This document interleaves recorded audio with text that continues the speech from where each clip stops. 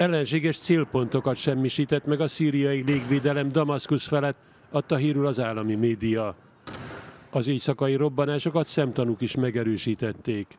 A szír hadsereg több települést is visszafoglalt a fővárostól délre, Idlib és Hama térségében.